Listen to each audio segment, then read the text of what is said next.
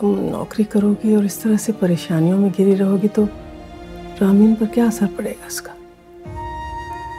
तुम्हें तो पता ही ना हमाद के जाने के बाद से वो कितनी ज़बरदस्त जहनी परेशानियों में मुब्तला है। तुम्हें ना मेरे लिए परेशान होने की कोई ज़रूरत नहीं है।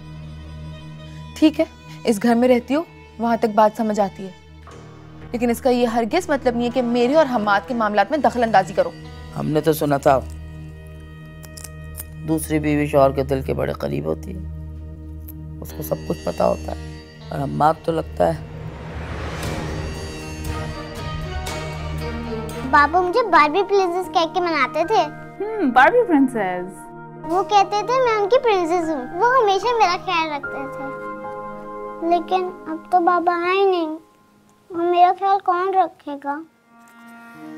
रामीन पर आपके पास मामा तो है ना? मैं अल्लाह ताला से रोज दुआ मांगती हूँ। बाबा मेरे पास आ जाए और हम खुशी खुशी रहने लग गए पहले आपकी अम्मी मुझे बातें सुनाती फिर आपकी बीवी। छोटे बच्चे तक मुझे जलील करते थे और जो रही सही कसर बच गई थी वो आपके दोस्त ने मुझ पर इल्ज़ाम लगा के पूरी कर चुप कर जाओ चुप कर जाओ। तुम क्या ये सब रट के आती हो क्या?